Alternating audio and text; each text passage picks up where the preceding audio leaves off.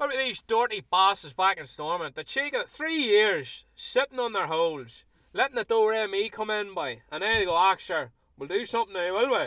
And even at Arlene Foster's, pure not their filth, and there's an injunction out to protect protect her from what she was doing, the dirty bag. I'm not afraid to call her out. The papers are. She's a woman needs to be loved like everybody else. Leave her alone. What are you talking about? She is the dirtiest Hallion of all Hallions. Don't you be talking to her like that. I pay my taxes. I want to know who you're banging Arlene, you dirty Hallion, you. Just shut up, you the fuck. No, what are you? What is wrong with you? I was the one banging her boy. No, you weren't. How are you banging Shut Arlene up. Foster? Shut up. Believe you me, it was me fucking sawing away at her boy. This man comes up to me in a, in a black suit. He says to me, I have a mission here for you. I want you to show for First Minister about for Northern Ireland.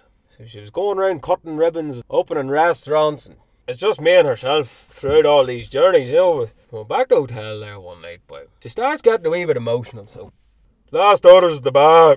And then she gives me the the legs start fluttering. I end up back in her room, boy. She plants the fucking lips on me, boy. Licking me face and licking the top of me head. Whips the fucking skirt down, boy. She's wearing a pair of fucking Union Jack knickers on her, boy. Jumps on top of me and bangs the life out of me, boy.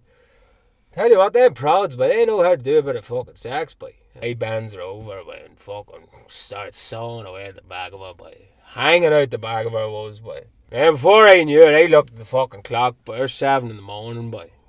So, next morning I wakes up, gets the fray, and she gets up, spots me across the way, and she rocks over.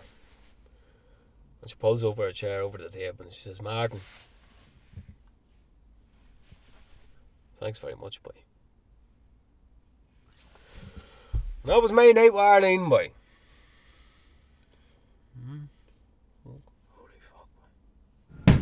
Go for TaxiJo.